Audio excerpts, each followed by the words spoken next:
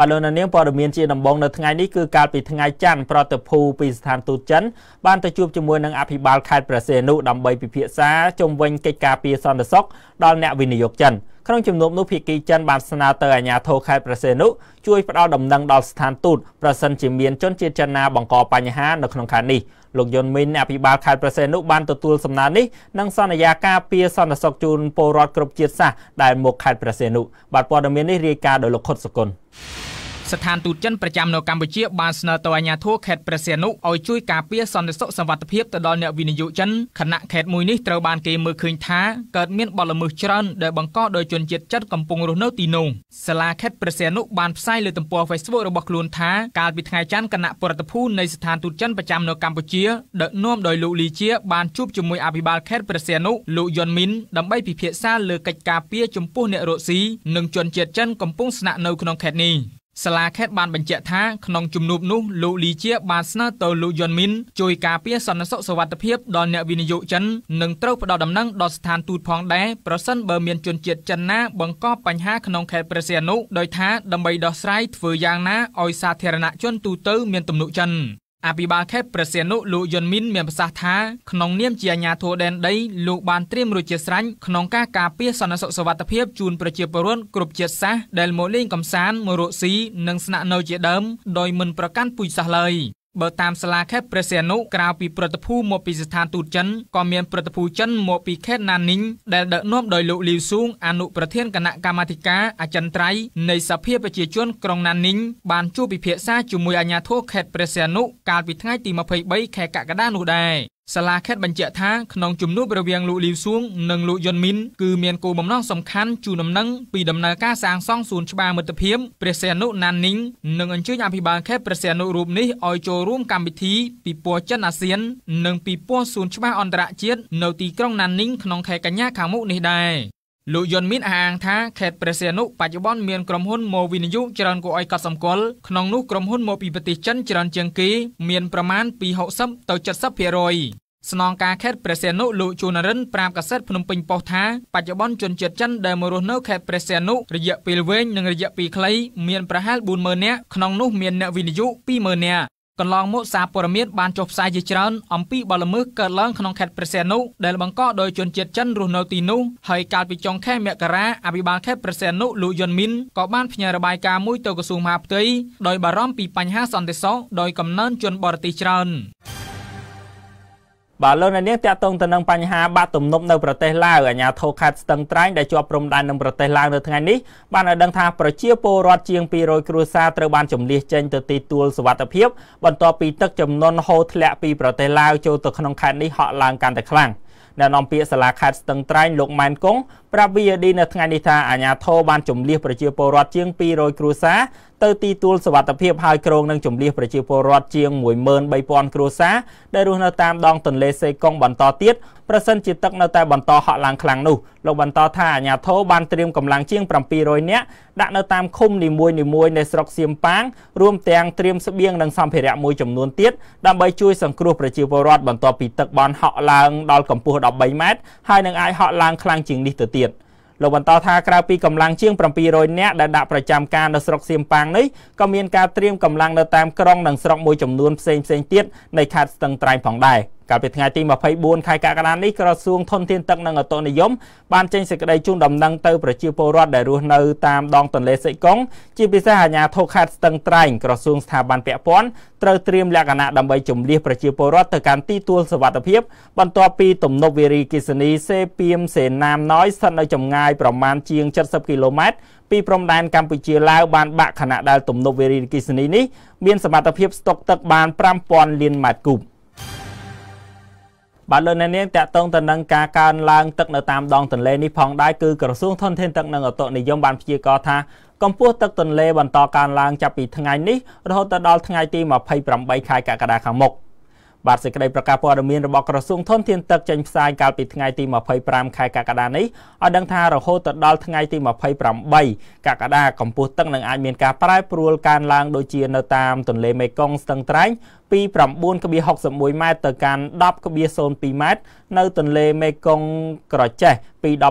19.78ម៉ែត្រទៅ20.44ម៉ែត្រចំណែកនៅតំបន់ផ្សេងទៀតដូចជាទន្លេមេគង្គកំពង់ចាមមេគង្គចតុមុខមេគង្គអ្នកលឿង ទន្លេបាសាក់កោះខែលទន្លេបាសាក់ព្រៃក្តាមនិងបឹងទន្លេសាបកំពង់លួងក៏មានការកើនកម្ពស់ទឹកនៅក្នុងកម្រិតប្រហាក់ប្រហែលគ្នានេះដែរតាមការព្យាករណ៍របស់ក្រសួងបើទោះបីជាកម្ពស់ទឹកបន្តកើនឡើងរហូតដល់ថ្ងៃទី28ខែកក្កដាក៏ដោយប៉ុន្តែมันមានតំបន់ណាឈានទៅដល់ស្ថានភាពប្រកាសអាសន្ននោះទេ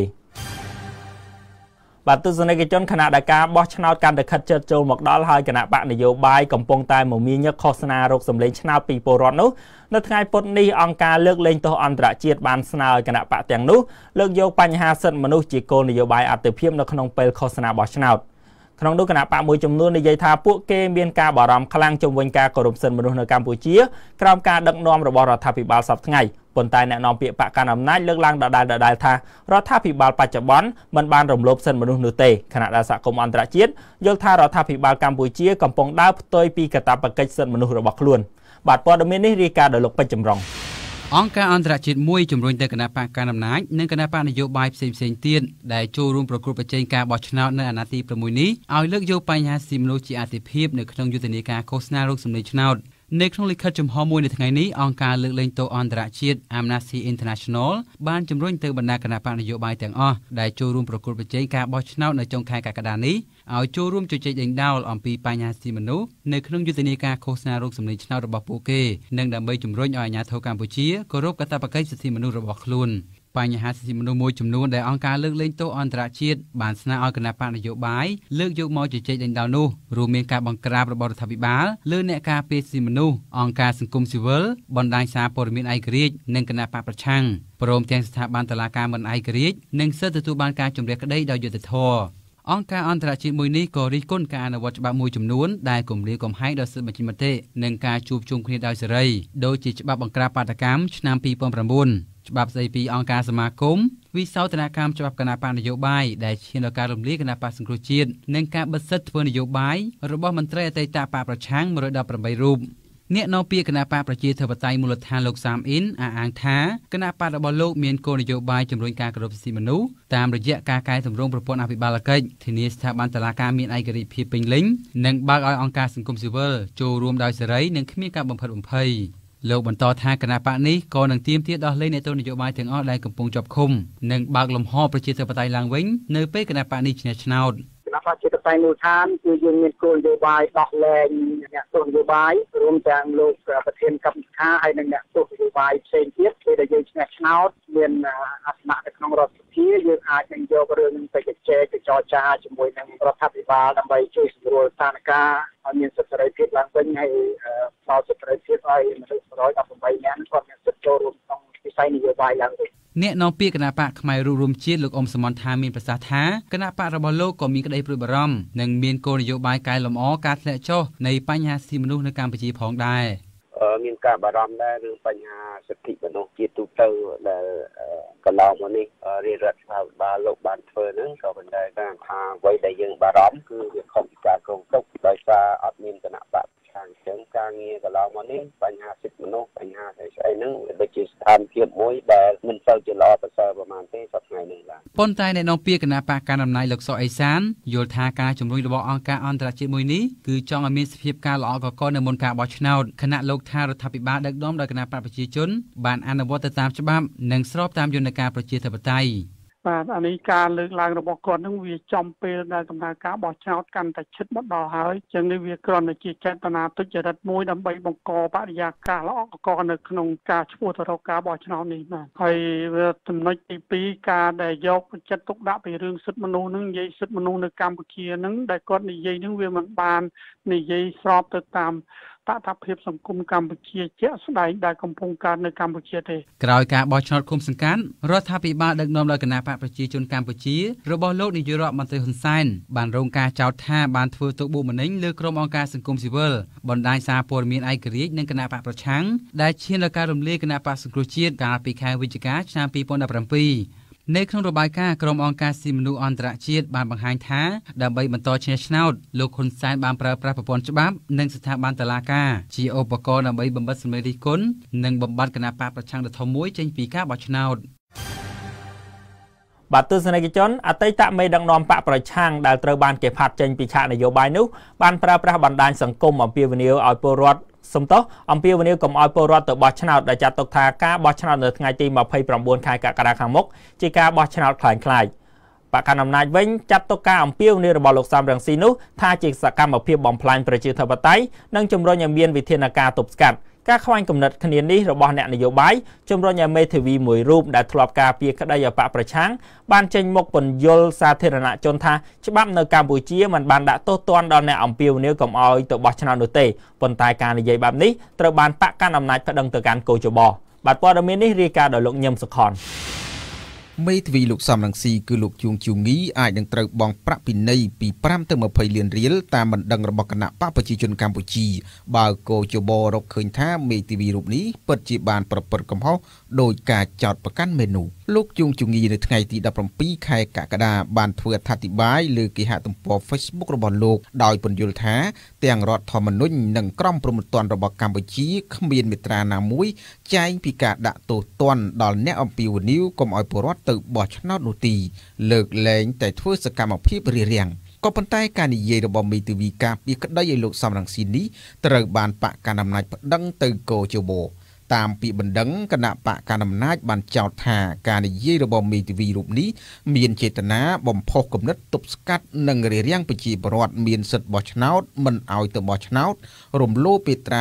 142នៃច្បាប់ស្តីពីការបោះឆ្នោតជ្រើសតាំងតំណាងរាស្ត្រច្បាប់បោះឆ្នោតជ្រើសតាំងតំណាងរាស្ត្រចំពុក10ស្តីពីបទបញ្ញត្តិត្រង់មាត្រា142ចែងថា ជនណារារាំងប្រជាពលរដ្ឋដែលមានសិទ្ធិបោះឆ្នោតមិនឲ្យទៅបោះឆ្នោត បង្កការអុកឡុកឬក៏រារាំងសកម្មភាពជាប្រកដី ក្នុងទីកន្លែងសម្រាប់ការពិនិត្យបញ្ជីឈ្មោះនិងចុះឈ្មោះឆ្នោតត្រូវផាកពិន័យជាប្រាក់ពី5ទៅ20លានរៀលដោយគណៈកម្មាធិការជ្រៀបចំការបោះឆ្នោតដោយពុំទាន់គិតដល់ទោសប្រមទ័នផ្សេងទៀតសមាជិកនឹងជាអ្នកនាំពាក្យកោជបលោកហងពុធីឲ្យវីរីដឹងនៅថ្ងៃនេះថា ក្រុមការងាររបស់លោកកំពុងតែពិនិត្យពាក្យបណ្ដឹងរបស់គណៈបកកណ្ដាលអំណាចនេះហើយថានីតិវិធីនឹងត្រូវពន្លឿនឲ្យចប់មុនថ្ងៃបោះឆ្នោតមកដល់មិនទាន់ដឹងថាត្រូវសម្រេចយ៉ាងណាដែរណាព្រោះថាឈ្មោះគាត់នៅក្នុង113នេះដែលច្បាប់55ណាកាលពីចុងឆ្នាំមុនតឡាការកំពូលបានប្រកាសរំលាយគណៈបកប្រឆាំងចោលពីបទក្បត់ជាតិតាមមិនដឹងរដ្ឋាភិបាល សាលេខាតឡាការកម្ពុជារបស់កម្ពុជានេះក៏បានបង្គាប់មិនឲ្យមន្ត្រីអតីតបកប្រឆាំងចំនួន118រូបធ្វើនយោបាយរយៈពេល5ឆ្នាំផងដែរ VOD មិនអាចតាក់ទងលោកជួងជងីបានទេនៅថ្ងៃនេះដោយទូរស័ព្ទចូលតែគ្មានអ្នកទទួលក៏ប៉ុន្តែអ្នកជំនាញផ្នែកច្បាប់លោកមេធាវីសុកសំអឿនបានពន្យល់ថាមាត្រា142នេះ អាចចោទប្រកាន់ជនណាម្នាក់បានលុះណាតែមានសកម្មភាពរារាំងនៅថ្ងៃបោះឆ្នោតយកនៅតាមរស័យទីនិយាយពីសកម្មភាពភាពរារាំងវាអត់ទាន់ត្រូវទេក្នុងសកម្មភាពឥឡូវបើសិនជាដល់ថ្ងៃបោះឆ្នោតមកអានេះបាទវាអាចនៅតាមរស័យទីនេះចាប់ផ្ដើមមានអនុភាពនេះ អានេះខ្ញុំមើលឃើញចឹងណាតែរឿងការបោះឆ្នោតយើងអ្នកច្បាប់យើងគ្រាន់តែយើងយល់ឃើញចឹងតែដល់ពេលការសម្ដែងរបស់កោច្បាប់នេះអានេះយើង ជារឿងមួយផ្សេងទៀតណាលោកជួងជងីជាមេធាវីមួយរូបបានចេញមុខតតាំងក្តីជាញឹកញាប់នៅតុលាការការពីក្តីឲ្យអតីតមេដឹកនាំបកប្រឆាំងលោកសំរងស៊ីប៉ុន្តែជាការកត់សម្គាល់រាល់ការតតាំងក្តីរបស់មេធាវីរូបនេះមិនដែលឈ្នះក្តីម្ដងណាឡើយបើដើមមិនដឹងតំណាងមកពីបកកណ្ដាលអំណាចនោះ បាទលោកនាងគណៈបកនយោបាយចំនួន6នឹងរៀបចំក្បួនឃោសនាទ្រង់ទ្រាយធំនៅរាជធានីភ្នំពេញនៅថ្ងៃឃោសនាចុងក្រោយដែលមានអ្នកចូលរួមជាង30ម៉ឺននាក់ដើម្បីកុំឲ្យមានការកកស្ទះចរាចរណ៍អាជ្ញាធរសម្រេចបិទកំណត់ផ្លូវមួយចំនួនដែលក្បួនធំហែទៅកាន់បាទព័ត៌មាននេះរាយការណ៍ដោយកញ្ញាតាន់សុមេធា មន្ត្រីរៀបចំការបោះឆ្នោតនៅភ្នំពេញបានឲ្យដឹងថាគណៈបកចំនួន6បាក់យុទ្ធនាការឃោសនាជាក្បួនទ្រង់ទ្រាយធំដាច់ដាច់ពីគ្នានៅថ្ងៃចុងក្រោយគឺថ្ងៃទី27ខែកក្កដាដែលមានអ្នកចូលរួមហែសរុបប្រមាណជា30ម៉ឺននាក់ ប្រធានគណៈកម្មាធិការរៀបចំការបោះឆ្នោតរាជធានីភ្នំពេញលោកលុនឆេងកៃបានប្រាប់ VOD ថាគណៈបកនយោបាយចំនួន6នឹងចូលរួមក្នុងការដង្ហែក្បួនឃោសនាបោះឆ្នោតចុងក្រោយនេះហើយចំនួនអ្នកដែលចូលរួមសរុបនោះមានប្រមាណជាជិត33ម៉ឺននាក់ក្នុងនោះគណៈបកប្រជាជនមានចំនួន25ម៉ឺននាក់គណៈបកសម្ព័ន្ធដើម្បីប្រជាធិបតេយ្យមានចំនួន5ម៉ឺននាក់គណៈបកសញ្ជាតិកម្ពុជា2ម៉ឺននាក់គណៈបកហ្វុនស៊ីមពេច1500នាក់គណៈបកខ្មែរក្រោក380នាក់ និងគណៈបកផ្នែកអភិវឌ្ឍសេដ្ឋកិច្ច100នាក់អ្នកនាំពាក្យសាលាក្រុងភ្នំពេញលោកមេតមីភក្តីបានប្រាប់ VOD ឲ្យដឹងថាកុំឲ្យមានការបារម្ភអ្វីដោយសារសាលារាជធានីភ្នំពេញបានរៀបចំផែនការច្បាស់លាស់ដែលសមស្របទៅនឹងសកម្មភាពរួចរាល់ហើយដែលមានទាំងមធ្យោបាយនិងកម្លាំងដើម្បីថែរក្សាសន្តិសុខសុវត្ថិភាពនិងចរាចរណ៍កំឡុងពេលការធ្វើពិធីដង្ហែក្បួនឃោសនាបោះឆ្នោតលើកចុងក្រោយខាងមុខនេះ ក្រៅពីនោះមានការផ្អាកចរាចរណ៍បណ្ដោះអាសន្ននៅមហាវិថីមួយចំនួន នៅថ្ងៃទី27នេះដើម្បីជៀសវាងនៅការកកស្ទះចរាចរណ៍និងធ្វើឲ្យមានភាពងាយស្រួលសម្រាប់ការដង្ហែក្បួនរបស់គណៈបកនយោបាយទាំងអស់លោកមេតមាសភក្តីក៏បានឲ្យដឹងទៀតថាកម្លាំងនគរបាលប្រមាណ75000នាក់នឹងឈរជើងទៅតាមទីតាំងកំណត់ផ្លូវធំធំមួយចំនួនដើម្បីសម្រួលសន្តិភាពសុវត្ថិភាពនិងចរាចរណ៍ក្នុងថ្ងៃឃោសនាបោះឆ្នោតចុងក្រោយថ្ងៃទី27កក្កដានេះ បើតាមសេចក្តីប្រកាសព័ត៌មានរបស់រដ្ឋបាលរាជធានីភ្នំពេញកាលពីថ្ងៃទី23ក្បួនទាំងនោះនឹងហែតាមមហាវិថីកម្ពុជាក្រោមមហាវិថីសម្ដេចមនីរ៉េតកំណាត់វិថីសម្ដេចសុធារស់មហាវិថីម៉ៅសេតុងកំណាត់មហាវិថីព្រះមនីវង្សមហាវិថីព្រះសីហនុវិថីព្រះស៊ីសវ័តនិងផ្លូវសំខាន់សំខាន់មួយចំនួនទៀតក្នុងរាជធានីភ្នំពេញបាទលោកនាងពាក់ព័ន្ធទៅនឹងការបោះឆ្នោតនេះដែរគឺប្រជាពលរដ្ឋខ្មែរដែលរស់នៅសហរដ្ឋអាមេរិកបានប្រកាសថា ពួកគេនឹងរៀបចំការតវ៉ានៅថ្ងៃទី28កក្កដាប្រឆាំងរដ្ឋាភិបាលចិនដោយចោទថាចិនកំពុងតែគ្រប់គ្រងរដ្ឋាភិបាលបច្ចុប្បន្នឆ្ពោះទៅរកចំណុចដែលមានភាពអន្តរាយដល់កម្ពុជាដោយកាលពីអតីតកាលក្នុងសេចក្តីប្រកាសព័ត៌មានចុះថ្ងៃទី24ខែកក្កដាដែលផ្ញើមកកាន់ VOD អ្នករៀបចំធ្វើបាតកម្មលោកសារ៉ូសុវិជ័យបានឲ្យដឹងថា ការតវ៉ានៅមុខស្ថានទូតចិននៅក្នុងទីក្រុង Washington ដឹកដោយកំណត់យកថ្ងៃទី28ខែកក្កដាចាប់ពីម៉ោង10ព្រឹករហូតដល់ម៉ោង12ថ្ងៃត្រង់មូលហេតុនៃការប្រមូលផ្ដុំនេះគឺទាមទាររដ្ឋាភិបាលចិនបញ្ឈប់ការគ្រប់គ្រងដល់រដ្ឋាភិបាលកម្ពុជាដែលកំពុងដឹកនាំឆ្ពោះទៅរករបបខ្មែរក្រហមឡើងវិញក្រុមនេះក៏ទាមទារឲ្យចិនប្រកាសមិនទទួលស្គាល់លទ្ធផលនៃការបោះឆ្នោតថ្ងៃទី29ខែកក្កដានេះដោយថាជាការបោះឆ្នោតคล้ายៗ អ្នកនាំពាក្យគណៈកម្មាធិការជាតិរៀបចំការបោះឆ្នោតលោកហងពុធាពុំចាប់អារម្មណ៍ចំពោះការធ្វើបាតកម្មទៀមទាននេះទេដោយថាវាជាសេរីភាពបញ្ចេញមតិរបស់ពលរដ្ឋមិនប៉ះពាល់ទៅដល់ដំណើរការកោជបនិងការសម្រេចចិត្តរបស់ប្រទេសចិនចំពោះកោជបនោះទេសូមស្វាគមន៍មកកាន់ប្រព័ន្ធឆ្លើយព័ត៌មានជាសម្លេង VOD ដើម្បីប្រើប្រាស់ប្រព័ន្ធឆ្លើយតបជាសំឡេងលោកអ្នកគ្រាន់តែទូរស័ព្ទទៅលេខ070 221 132រួចស្ដាប់តាមការណែនាំដូចខាងក្រោមសូមចុចលេខ1សម្រាប់ព័ត៌មានថ្មីថ្មីសូមចុចលេខ2សម្រាប់ព័ត៌មានវិភាគសូមចុចលេខ3សម្រាប់ព័ត៌មានប័ណ្ណយប់ការលោកអ្នកក៏អាចស្ដាប់ឡើងវិញនៅព័ត៌មានទាំងអស់ដែលគ្រាន់តែលោកអ្នកចុចសញ្ញាផ្កាយនៅក្នុងប្រព័ន្ធឆ្លើយព័ត៌មានជាសំឡេងនេះលោកអ្នកក៏អាចរាយការណ៍ព័ត៌មានទាន់ហេតុការណ៍ផ្សេងផ្សេង មកកាន់ក្រុមអ្នកយកព័ត៌មានរបស់ VOD ដែលគ្រាន់តែលោកអ្នកស្ដាប់តាមការណែនាំរួចចុចលេខ4ហើយចាប់ផ្ដើមរាយការណ៍ព័ត៌មានរបស់លោកអ្នកបន្ទាប់ពីឮសំឡេងប៊ីបហើយពេលដែលលោកអ្នកបញ្ចប់ការរាយការណ៍ហើយនោះលោកអ្នកគ្រាន់តែចុចសញ្ញាត្រង់ជ្រូកដើម្បីបញ្ចប់ជាការស្រេចព័ត៌មានបន្ថែមពីប្រព័ន្ធឆ្លើយព័ត៌មានជាសំឡេង VOD សូមទូរស័ព្ទមកកាន់060 412 999 បាទទស្សនិកជនព័ត៌មានជាតិចុងក្រោយនៅពេលនេះគឺសាលារាជធានីភ្នំពេញប្រកាសផ្អាកដឹកជញ្ជូនតាមរថយន្តក្រុងសាធារណៈចំនួន1ថ្ងៃនៅថ្ងៃទី29ខែកក្កដាខាងមុខនេះដើម្បីទុកពេលឲ្យបុគ្គលិកស្ថាប័ននេះបានទៅបោះឆ្នោត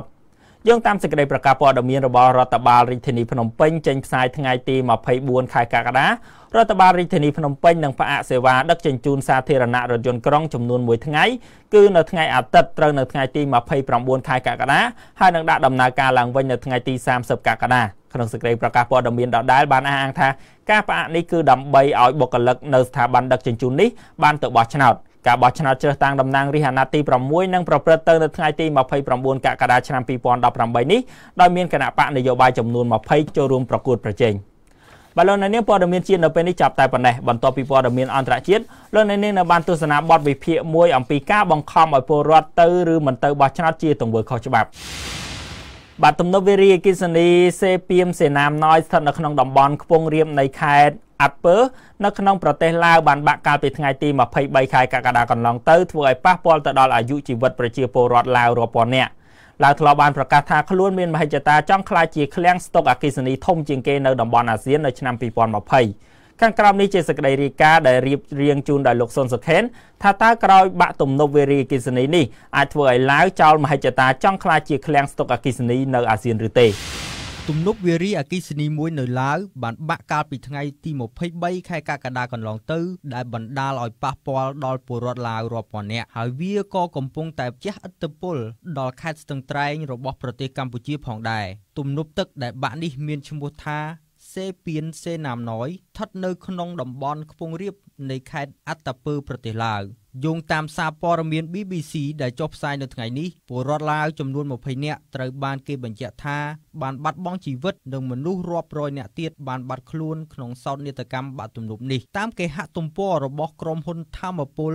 សេពៀនសេណាមណយដែលកំពុងអនុវត្តការសាងសង់ទំនប់វារីអគ្គិសនីនេះ បានបញ្ជាក់ឲ្យដឹងថាទំនប់វារីអគ្គិសនីនេះអាចផលិតអគ្គិសនីបាន410មេហ្គាវ៉ាត់ហើយគ្រោងនឹងបើកឲ្យដំណើរការនៅឆ្នាំ2019តាមប្រភពដដែលក្រុមហ៊ុនធម្មពលសេពៀនសេណាមណយ ដែលទទួលធ្វើគម្រោងវារីអគ្គិសនីនេះជាក្រុមហ៊ុនដែលសហការគ្នារវាងក្រុមហ៊ុនចំនួន4ដែលក្នុងនោះមាន2ជារបស់កូរ៉េមួយជារបស់ថៃ និងមួយទៀតជាក្រុមហ៊ុនរបស់រដ្ឋឡាវប្រភពដដែលបន្តឲ្យដឹងថាអគ្គិសនីដែលផលិតបានក្នុងគម្រោងសេពៀនសេណាមណយនេះនឹងត្រូវលក់ទៅឲ្យថៃចំនួន90%ហើយ10%ទៀតឡាវទុកសម្រាប់ប្រើប្រាស់ក្នុងស្រុកមេដឹកនាំឡាវតែងតែអះអាងថាខ្លួនមានមហិច្ឆតាក្លាយជាអ្នកផលិតនិងចែកចាយអគ្គិសនីធំជាងគេនៅអាស៊ីអាគ្នេយ៍យោងតាមការចុះផ្សាយរបស់ក្រសួងធម្មពលនិងរ៉ែរបស់ឡាវប្រទេសនេះបដិញ្ញាថានៅឆ្នាំ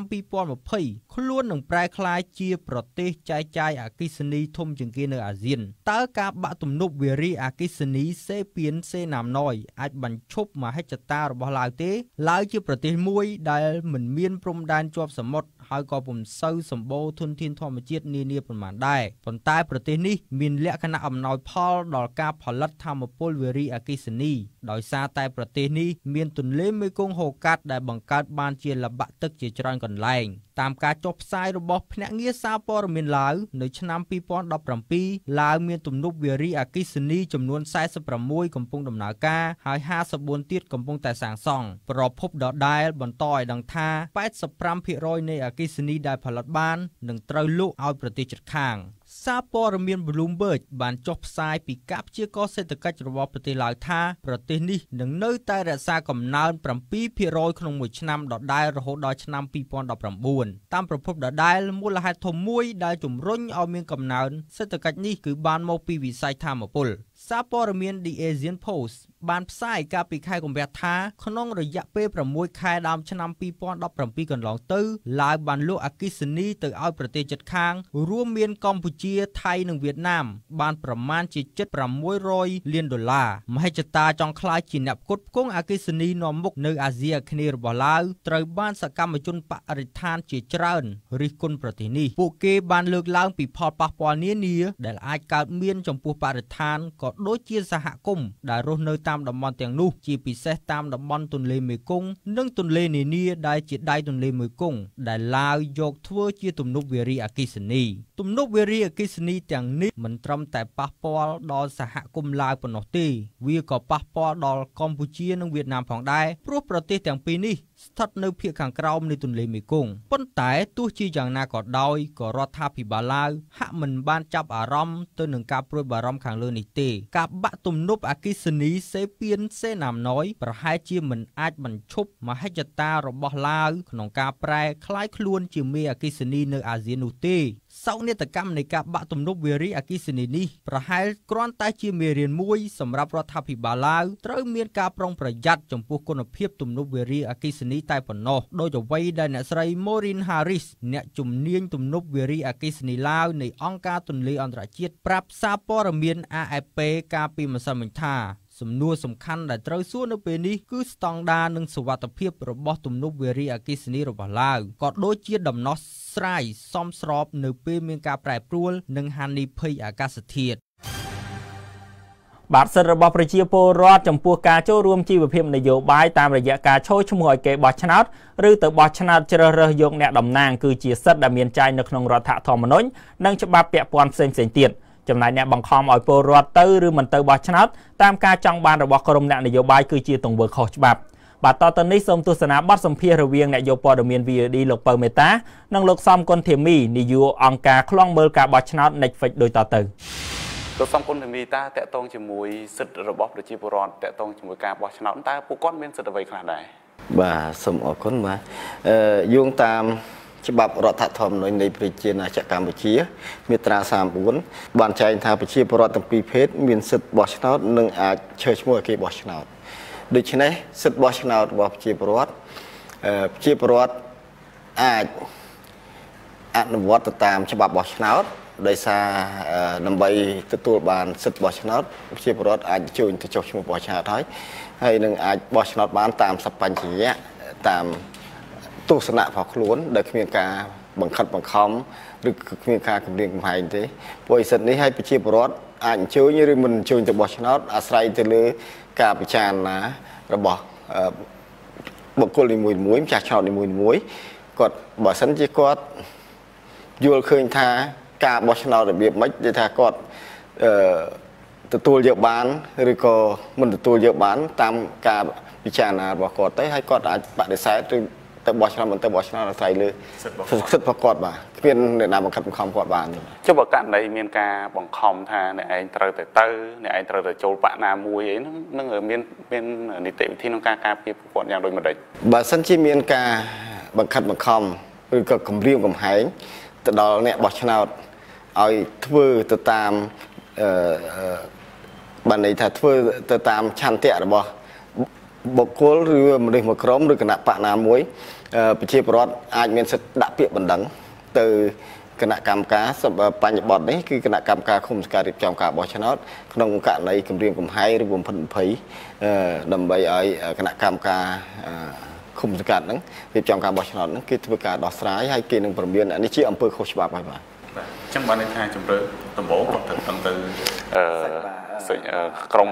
អ្នករៀបចំការបោះឆ្នោតបាទថ្នាក់ឃុំសង្កាត់ចុះបើសិនបើមិននៅក្នុងអំឡុងពេលនៃការបោះឆ្នោតវិញបើបើសិនជាមានការគម្រឹងបង្ហាញមុនយុទ្ធនាការឃោសនាបោះឆ្នោតនេះគាត់អាចប្តឹងទៅនៅខាងនគរបាលពួកអានេះវាជាករណីព្រមតាន់មួយ ដែលបង្ហាញថាមានការបំផិតភ័យគម្រាមកំហែងឬក៏ធ្វើសកម្មភាពមួយអីមួយដែលវាប៉ះពាល់ដល់សន្តិសន្តិសុខរបស់អ្នកបោះឆ្នោតបាទ លោកអាចបញ្យល់ពីនីតិវិធីនៃការដោះស្រាយនៅក្រមរៀបចំការបោះឆ្នោតតាំងពីថ្នាក់ក្រោមមកនីតិវិធីមិនបើមានបណ្ដឹងកើតឡើងបើមានបណ្ដឹងយើងត្រូវដាក់ពាក្យបណ្ដឹងទៅសាច់យើងហៅថាសាច់គណៈកម្មការគុំការរៀបចំការបោះឆ្នោតពីបទគម្រាមកំហែងឬបំផិតបំភ័យអឺ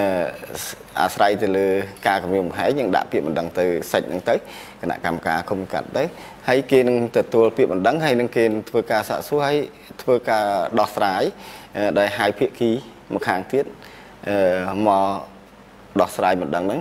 ឬក៏គេមិននឹងពមៀនបញ្ឈប់ការគម្រាមកំហែងឬបំផិតបំភ័យហ្នឹងទៅលើម្ចាស់ឆ្នោតហ្នឹងអ្នកបោះឆ្នោតហ្នឹងតែបើសិនជាយើងសម័យខ្លួនជនរងគ្រោះដោយម្ចាស់ឆ្នោតហ្នឹងមិនពេញចិត្តនឹងដំណោះស្រាយរបស់គណៈកម្មការគុំការរៀបចំការបោះឆ្នោតទេយើងអាចអតើយើងអាចប្រឹងបន្តទៅគេហៅបច្ចគណៈកម្មការរាជធានីខេត្តរៀបចំការបោះឆ្នោតបន្តទៀតណាបាទអានេះពួកអីសិទ្ធិពលរដ្ឋ គឺធំបំផុតអឺពួកអីសិទ្ធិពលរដ្ឋมันអាចមានអ្នកណាមកគម្រាមកំហែងឬបំផិតបំភ័យមិនឲ្យគាត់ទៅបោះឆ្នោតឬឲ្យគាត់ទៅបោះឆ្នោតអត់មានទេបាទអាហ្នឹងគឺសិទ្ធិរបស់ អ្នកបោះឆ្នោតម្ចាស់ឆ្នោតខ្លួនឯងផ្ទាល់តែម្ដងបាទខាងក្រមការងាររៀបចំការបោះឆ្នោតគាត់អាចសម្រេចអីខ្លះបានឬថាសម្រេចឲ្យអ្នកនេះបញ្ឈប់បានសម្របរួលឬក៏អាចថាជាការពិន័យឬក៏ទោសទណ្ឌអីអាចមានសិទ្ធិនឹងទេអឺមានច្បាប់បោះឆ្នោតហើយសមត្ថកិច្ចផងកជាបទទោះបីឆ្នាក់ក្រោមជាតិមានសិទ្ធិគេថាប្រមានឬក៏ដាក់ផាកពិន័យបើអាស្រ័យទៅលើទោសលើការ ពមៀនការគម្រាមកំហែងហ្នឹងបាទអាចខុសច្បាប់បោះឆ្នោតមានត្រឹមតែពិន័យទេអត់មានប្រន់ទីទោសទេព្រោះប្រន់ទីទោសតទៅតុលាការបើវាជាករណីព្រំប្រទានបាទចាំបានបើករណីធ្ងន់ធ្ងរកោជបអាចបញ្ជូនរឿងនេះទៅតុលាការបាទគេបាទឬក៏គេណែនាំឲ្យជនរងគ្រោះហ្នឹងអាចដាក់ពាក្យប្តឹងទៅតុលាការបើប៉ះពាល់ដល់អាយុជីវិតគម្រាមកំហែងវាធ្ងន់ធ្ងរដល់អាយុជីវិតដល់អីណាអាហ្នឹងអាចបញ្ជូនទៅតុលាការហ្នឹងវាជាបទល្មើសព្រំប្រទានដ៏ធ្ងន់ហើយបាទ យើងអាចបែងចែកបានតកតងជាមួយការគម្រាមកំហែងឬការបង្ខិតបង្ខំថាឥឡូវបង្ខំគាត់ទៅបោះបង្ខំមិនឲ្យគាត់ទៅអាចថាជាលក្ខណៈខុសដូចគ្នាទេឬក៏មួយណាថាបង្ខំឲ្យទៅបានខុសបង្ខំមិនឲ្យទៅអត់ខុសទេយើងអាចបែងចែកបានទេបើសិនជាលក្ខណៈបង្ខំប្រើពាក្យថាមានការបង្ខំបង្ខិតបង្ខំទោះបីជាឲ្យទៅឬមិនឲ្យទៅវាវាជាអំពើប្រឆាចនឹងច្បាប់បោះឆ្នោតហើយព្រោះប្រះបោះឆ្នោត គេមិនឲ្យមានការបង្ខិតបង្ខំទេហើយឬក៏មិនឲ្យមានការរារាំងទេតាមអបសតដែលលោកធ្វើការកន្លងមកតើជួបការគម្រាមកំហែងឬការបង្ខិតបង្ខំក្នុងករណីអីខ្លះដែរក្នុងពេលកន្លងមកអឺកន្លងមកការបង្ខិតបង្ខំហ្នឹងច្រើនពាក់ព័ន្ធនឹងដូចថាទូនីតិដូចថាជាមន្ត្រីការជាគ្រូក្តីដែលគាត់មានការងាររដ្ឋចឹងទៅវាអាចមានស្ថាប័នហ្នឹងមានដាក់ ដូចថាដាក់សម្ពាធឲ្យគាត់ទៅបោះឆ្នោតដាច់ខាតទៅទៅបោះឆ្នោតណាដោយសំអាងទៅលើក្រោយថ្ងៃបោះឆ្នោតហ្នឹងមើលទឹកខ្មៅជ្រលក់ដៃណាអានេះអានេះជាការ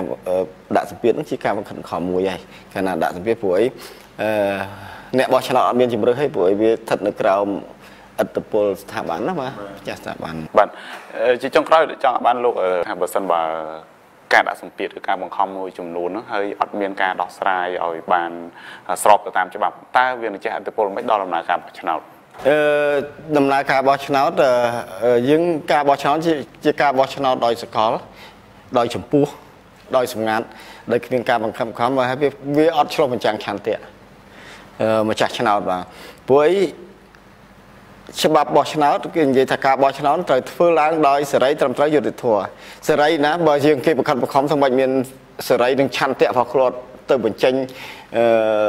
ទៅបោះឆ្នោតឬក៏គាត់ជ្រើសរើសគណៈបកណាបើ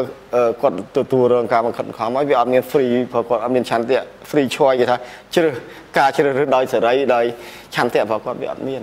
បាទការសម្ភាសឈានមកដល់ទីបញ្ចប់ហើយហើយក៏សូមថ្លែងអំណរគុណដល់លោកសំគុណធីមីជានាយកប្រតិបត្តិនៃអង្គការ Netflix ដែលបានចំណាយពេលក្នុងការផ្ដល់បទសម្ភាសន៍នេះបាទបាទសូមថ្លែងអំណរគុណលោកបាទបាទ បាទទស្សនិកជនជាទីមេត្រីមុននឹងបញ្ចប់កម្មវិធីព័ត៌មានរបស់ទូរទស្សន៍អនឡាញ VOD ខ្ញុំសូមសង្ខេបព័ត៌មានសំខាន់សំខាន់ដែលមានដូចតទៅកាលពីថ្ងៃច័ន្ទប្រតិភូពីស្ថានទូតចិនបានទៅជួបនឹងអភិបាលខេត្តប្រសេនុដើម្បីពិភាក្សាជំវិញកិច្ចការពីសន្តិសុខដល់អ្នកវិនិយោគចិននៅក្នុងជំនុំនោះភាគីចិនបានស្នើទៅអាជ្ញាធរខេត្តប្រសេនុជួយផ្ដល់ដំណឹងដល់ស្ថានទូតប្រសិនជាមានជនជាតិចិនណាបង្កបញ្ហានៅក្នុងខេត្តនេះ លោកយុនមីនអភិបាលខេត្តប្រសេនុបានទទួលយកសំណើនេះនិងសន្យាការពីសន្តិសុខជូនពលរដ្ឋគ្រប់ជាតិសាសន៍ដែលមកខេត្តប្រសេនុបាទលោកនាងអាជ្ញាធរខេត្តស្ទឹងត្រែងជាប់ព្រំដែនប្រទេសឡាវនៅថ្ងៃនេះបានឲ្យដឹងថាប្រជាពលរដ្ឋជាង200គ្រួសារត្រូវបានជំនះចេញទៅទីទួលសុវត្ថិភាពបន្ទាប់ពីទឹកជំនន់ហូរធ្លាក់ពីប្រទេសឡាវចូលទៅក្នុងខេត្តនេះបានហក់ឡើងខ្លាំង។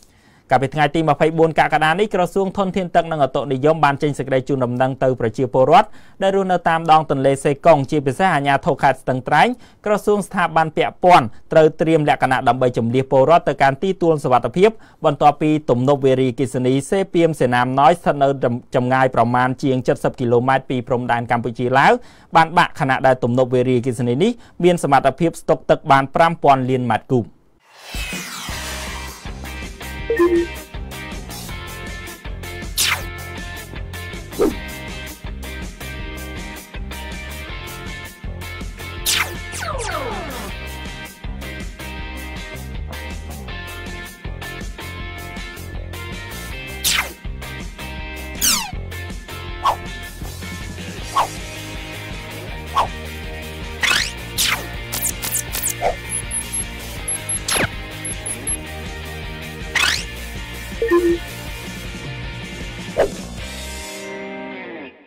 បាទលោកអ្នកនាងកម្មវិធីព័ត៌មានរបស់ទូរទស្សន៍អនឡាញ VOD ដែលបានផ្សាយជូនទស្សនានៅពេលនេះចាប់តែប៉ុណ្ណេះខ្ញុំបាទសូមអរគុណសូមជម្រាបលា